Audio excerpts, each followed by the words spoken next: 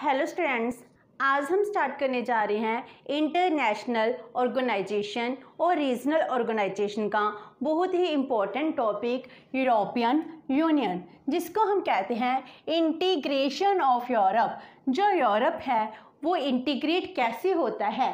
Bye European union जो Europe है, ये कॉन्टिनेंट बहुत ही इम्पोर्टेंट कॉन्टिनेंट है। इसकी स्टार्टिंग से ही हैसमनी क्रिएट हुई पड़ी थी। तो जो फ़र्स्ट वर्ल्ड वॉर होती है सेकंड वर्ल्ड वॉर होती है, इसमें यूरोप को बहुत ज़्यादा लॉस होता है। इस लॉस को प्रॉफिट में कन्वर्ट करने के लिए। इट मीन्स क्या है? जो हमको लॉस हुआ है, अब इस लॉस को हम कैसे अपनी डिमांड्स को मीट करें? कैसे हम दोबारा से अपनी हेसमनी है डोमिनेंस है, वो क्रिएट करें? इसके लिए यूरोपियन यूनियन है, इसको इस्टेब्लिश किया जाता है। जो यूरोपियन यूनियन है स्टार्टिंग में ये एक कम्युनिटी के रूप में सामने आती है। और 93 में जाकर यूरोपियन यूनियन है जे फॉर्म होता है। तो पहले हम करते हैं basic information of European union तो इसकी बेसिक इंफॉर्मेशन क्या है? जो यूरोपियन यूनियन है, वो है क्या? It is a political and economic union of twenty seven member states of Europe continent Europe continent में फोर्टी से भी ज़्यादा स्टेट्स हैं। लेकिन जो यूरोप यूनियन है, ये यूनियन क्या है? Political and economic union of only and only twenty seven member states पहले इसमें 28 मेंबर स्टेट्स थे। जो 28 मेंबर स्टेट्स हैं, इनके नेम आप डायग्राम में देख पा रहे हो। जैसे ऑस्ट्रिया हो गया बेल्जियम हो गया पोलैंड हो गया फ्रांस हो गया जर्मनी हो गया नीदरलैंड हो गया। जो बहुत ही फ़ेमस बहुत ही ज़्यादा डिवेल्प स्टेट्स थे। और इसके बाद जो ब्रेग्जिट होता है ब्रेग्जिट 2020 में होता है तो इसमें जो यूके है, वो डिसइंटीग्रेट हो जाता है यूरोपियन यूनियन से बाहर निकल जाता है। ब्रिटेन का एग्जिट ही ब्रिग्जिट कहलाता है। तो अब कितने स्टेट्स रह गए हैं? ट्वेंटी सेवन मेंबर स्टेट्स जो 27 मेंबर स्टेट्स हैं जो यूरोपियन यूनियन है, इसको फॉर्म करते हैं। इनकी अपना ही एक फ्लैग है, जिसमें ब्लू कलर के फ्लैग में जो स्टार्स हैं, वो बने हुए हैं। एंड इसकी अपनी करेंसी है यूरो जो डॉलर से भी आज के टाइम में बहुत मज़बूत है। तो इसकी अपनी करेंसी है, अपना फ्लैग है। तो ये वर्ल्ड लेवल में बहुत ही इम्पोर्टेंट रोल प्ले करता है। हम आगे देखेंगे कैसे इसकी नॉमिनल जीडीपी है वर्ल्ड में कितना रैंक है। तो जो यूरोपियन यूनियन है, इसमें जो पॉलिटिकल एंड इकोनॉमिक यूनियंस हैं, जिससे हम इंटीग्रेट हो रहे हैं, हमारे ट्रेड हैं, जिसमें हम टैरिफ को फ्री कर देंगे फ्री ट्रेड करेंगे, जिससे हम अपनी इकोनॉमीज की डिवेल्प कर पाएँ। तो पहले जो यूरोपियन कम्युनिटी है, वो इस्टेब्लिश होती है 1951 में। उसके बाद जो यूरोपियन यूनियन है, इसको इस्टेब्लिश किया जाता है first November 1993 by Maastricht treaty जो बहुत ही इम्पोर्टेंट ट्रीटी है।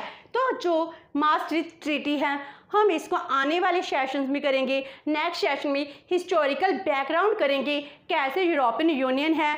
1946 से स्टार्ट होती है इस पर डिस्कशन और बाद में इसमें यूरोपियन कम्युनिटी बनाई जाती है। After that economic union establish होता है और उसके बाद रोम की पेरिस की जो ट्रीटिस होती हैं एंड 93 में मास्ट्रिच ट्रीटी होती है, जिसके थ्रू यूरोपियन यूनियन है, इसको इस्टेब्लिश किया जाता है। तो जो इसका हेड क्वार्टर है, वो है ब्राज़ील इन बेल्जियम। बेल्जियम में बहुत ही बड़ी बिल्डिंग है, जिसको यूरोपियन यूनियन का हेडक्वार्टर कहा जाता है। तो जो यूरोपियन यूनियन है, इसका इकोनॉमी लेवल पर बहुत ही इम्पोर्टेंट रोल है।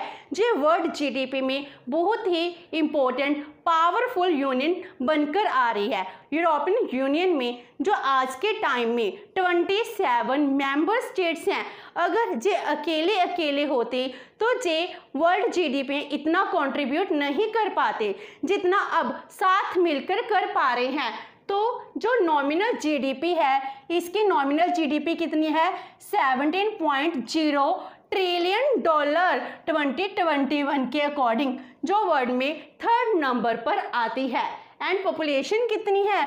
447 मिलियन तो इसके जो यूरोपियन यूनियन की पॉपुलेशन है 447 मिलियन है और जो इसकी जीडीपी वैल्यू है, ये भी बहुत ही ज़्यादा 17 ट्रिलियन डॉलर है। जो इंडिया है, अब तक थ्री ट्रिलियन डॉलर की इकॉनमी ही बना है। हमारा टारगेट है 24 तक फाइव ट्रिलियन डॉलर की इकॉनमी बनना। तो ये 17 ट्रिलियन डॉलर की इकॉनमी बन जाता है। तो जो यूरोप है, बहुत ही ज़्यादा डिवेल्प्ड कंट्री है। इसकी जो एचडीआई वैल्यू है zero point nine one one है। जो बहुत ही ज़्यादा हाई है। तो ये डिवेल्प कंट्रीज़ में आता है। इसकी पर कैपिटा इनकम क्या है? Forty thousand nine hundred ninety five dollar per capita income है। तो ये बहुत ही रिच कंट्रीज़ का यूनियन बनी हुई है। एंड इसमें यूरो जोन में है। यूरो जोन का मीनिंग क्या हो गया?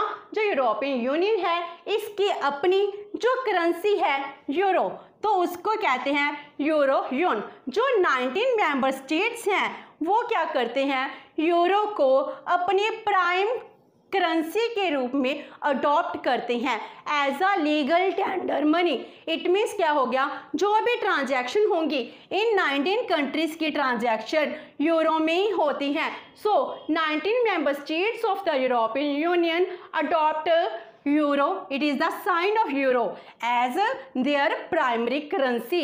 And जो एट स्टेट्स हैं, वो अपनी जो नेशन की करेंसी है, उसको यूज़ करते हैं। लेकिन वहाँ पर भी यूरो फिर भी चलता है। इस तरह यूरो जोन बन जाता है। इसकी जो ऑफिशियल लैंग्वेजेस हैं वो ट्वेंटी फोर लैंग्वेजेस हैं यूरोपियन यूनियन की एंड जो मेन ऑफिशियल लैंग्वेजेस हैं, वो हैं three English French and German ये थ्री ऑफिशियल मेन लैंग्वेज बन गई, जबकि इसकी ट्वेंटी फोर मेन लैंग्वेज हैं। तो ये होगी basic information of European Union जिन्होंने पॉलिटिकली इकोनॉमिकली अपने आप को प्रमोट करने के लिए एफर्ट्स किए हैं। आपस में एक यूनियन बनाई है।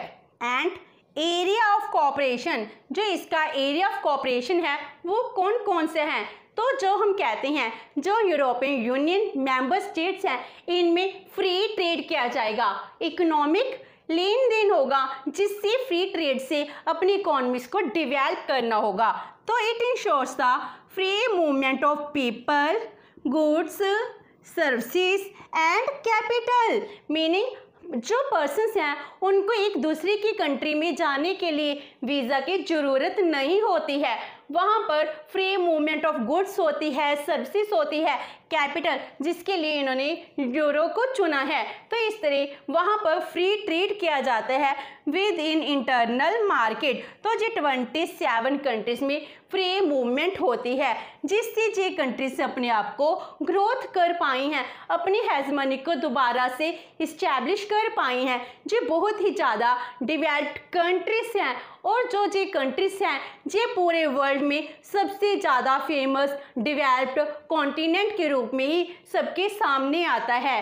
It maintain common policies on trade agriculture fisheries regional development economic integration and European monetary system तो इन ट्वेंटी सेवन कंट्रीज़ की कॉमन पॉलिसीज़ भी हैं। एग्रीकल्चर फिशरी के रिगार्डिंग ताकि ये अपनी इकोनॉमिक्स की डेवलपमेंट कर सके। इन्होंने कॉमन मॉनिटरी सिस्टम है, इसको भी इस्टेब्लिश किया है। तो जो यूरोपियन यूनियन है, इसको इस्टेब्लिश करने के लिए जो फाउंडिंग मेंबर नेशंस थे, वो कौन कौन से थे? जो इसकी फाउंडेशन होती है। तो फाउंडेशन सेकेंड वर्ल्ड वार के बाद जो कॉल्ड एरा था, इस कॉल्ड एरा में 1946 में जो यूके के प्राइम मिनिस्टर हैं मिस्टर चर्चिल वो कहते हैं कि यूरोपियन कंट्रीज़ को साथ मिलना चाहिए, आपस में इंटीग्रेट होकर उनको अपनी डेवलपमेंट की रिगार्डिंग सोचना चाहिए। तो इसके लिए वो स्टार्टिंग से एफर्ट करने लग जाते हैं। तो 46 से एफर्ट्स होते हैं। एंड इसके बाद 1951 में क्या होता है? 18 अप्रैल 1951 में ट्रीटी ऑफ़ पेरिस होती है, जिसके थ्रू क्या किया जाता है? European coal and steel community है, इसको फॉर्म किया जाता है। तो ये पहली कम्युनिटी इस्टेब्लिश की गई, जिसमें free movement of coal and steel होगी। तो बेसिक इंडस्ट्रीज़ हैं, इसको डिवेल्प करने के लिए एफर्ट स्टार्ट हो जाते हैं बाय ट्रीटी ऑफ़ पेरिस जिससे यूरोपियन इकोनॉमिक कम्युनिटी है, इसको भी बाद में इस्टेब्लिश किया जाता है।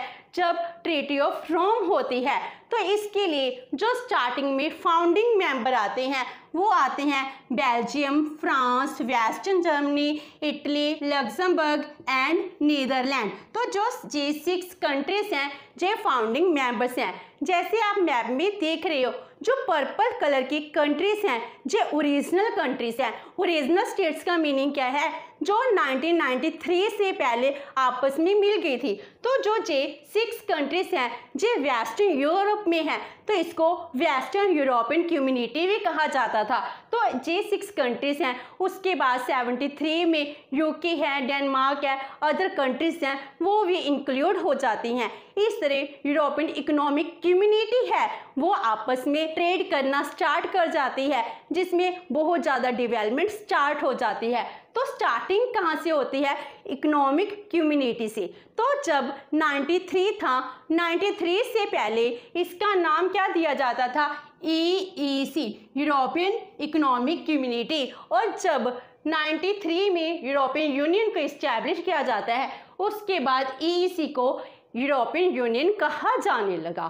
तो जी हो गए इसके founding member nations now aims and objectives of European Union जो यूरोपियन यूनियन है, इसके मेन गोल क्या हैं? जो एम्स एंड ऑब्जेक्टिव हैं, जिसमें जे अपने आप को डिवेल्प करना चाहते हैं। तो जो इनकी ऑब्जेक्टिव्स हैं, हम इनको फोर पार्ट्स में डिवाइड कर सकते हैं। First one is re establishment of European hegemony first of all European hegemony है, उसको री इस्टेब्लिश करना। इस्टेब्लिश नहीं री इस्टेब्लिश करना।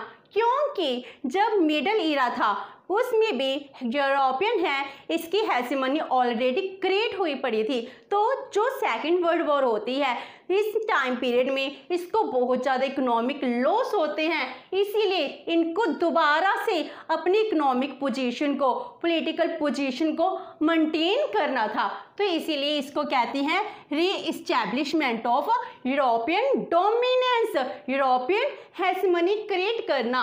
तो इन्होंने आपस में मिलकर सोशल इकोनॉमिक रिकंस्ट्रक्शन की आफ्टर वर्ल्ड वार टू तो इनका ये पर्पज़ था कि हम आपस में मिलकर जो हमारी इकोनॉमी है, इनको रिकंस्ट्रक्ट करेंगे, दोबारा से डिवेल्प करेंगे।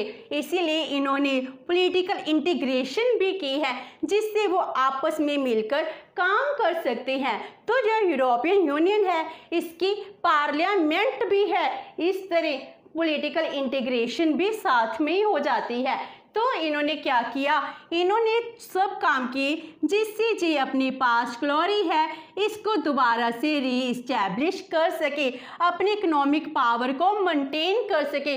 अपनी ट्रेडिशन के थ्रू दोबारा से डोमिनेंट पोजीशन पर पहुँच सके।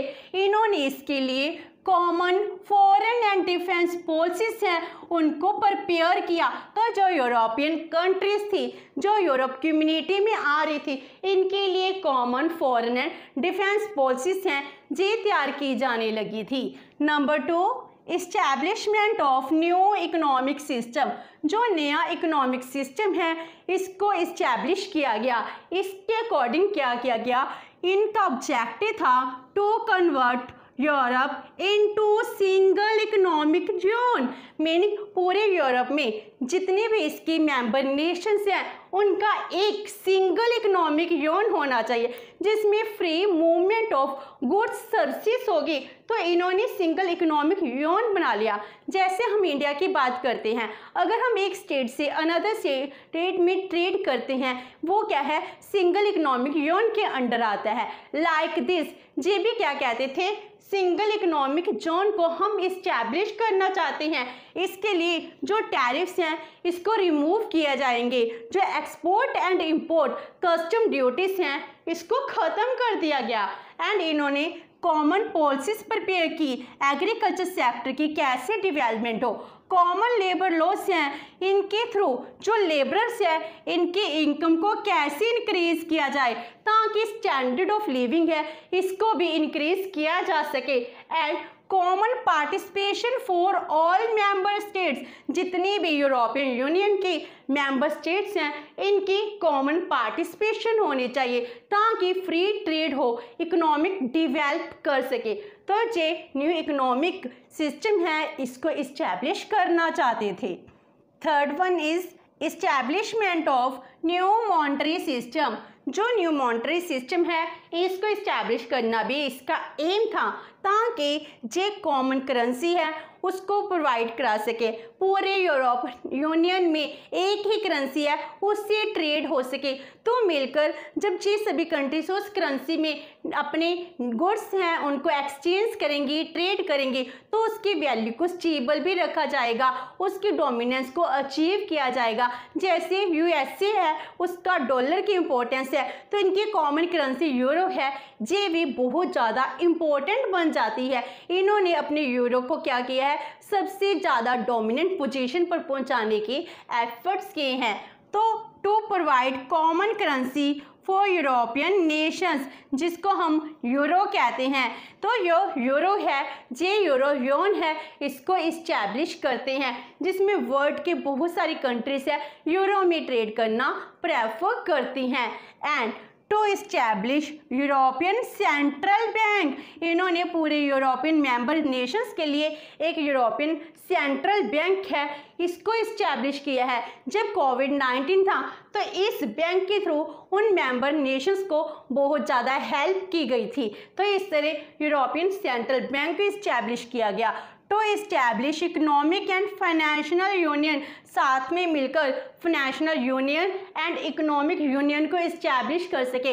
अगर मान लो यूनियन में ट्वेंटी सेवन नेशंस हैं, इनमें एक नेशन है, उसकी इकोनॉमी डाउन चल रही है तो जो आपस में मिलकर उसको ऊपर तक लेकर आएँगे, आपस में मिलकर डिवेल्प करेंगे। इसीलिए इकोनॉमिक एंड फाइनेंशियल यूनियन को इस्टेब्लिश करना इनका एम था। And last one is economic development तो जिस सबसे प्राइमरी ऑब्जेक्टिव बन जाता है कि हम अपनी इकॉनमी को डिवेल्प करें, और यूरोप यही तो चाहता था कि हमारी इकॉनमी से वो डिवेल्प हो सकें। इसीलिए तो उन्होंने यूरोपियन यूनियन है, इसको इस्टेब्लिश किया था। तो इसके लिए कहते हैं तो उन्होंने जो स्टैंडर्ड ऑफ़ लिविंग है, अपने लोगों का इंक्रीज करना, जो इनका मेन पर्पस था, इसके लिए उन्होंने फ्री ट्रेड है, इसको स्टार्ट किया था। To provide more opportunities for employment to strengthen social and judicial provisions mean employment increase करना। अपने यूरोपियन यूनियन मेंबर स्टेट्स हैं। इनमें सोशल एंड जुडिशियल प्रोविजंस के थ्रू सोशल सिक्योरिटी है। इसको इंश्योर करना and to provide visa free entry of the citizens जो member nations हैं, इनकी वीज़ा फ्री एंट्री है एंड टू इनकरेज टूरिज़्म ताकि टूरिज़्म के थ्रू भी इनकी इकोनॉमी डिवेल्प कर सके। तो ये यूरोपियन यूनियन के मेन्स एंड ऑब्जेक्टिव्स हैं, जिसके थ्रू यूरोपियन यूनियन है, अपनी इकोनॉमीज को डिवेल्प करने की कोशिश करता है। तो वे दिस हमारा यूरोपियन यूनियन का जो बेसिक इंट्रोडक्शन है, वो कंप्लीट होता है। नेक्स्ट सेशन में हम करेंगे historical development of European Union hope से कि आपको ये सेशन अच्छा लगा होगा। अगर आपकी कोई क्वेरी है तो post in the comment box and video अच्छी लगी। तो please like and share with your friends thank you so much and have a nice day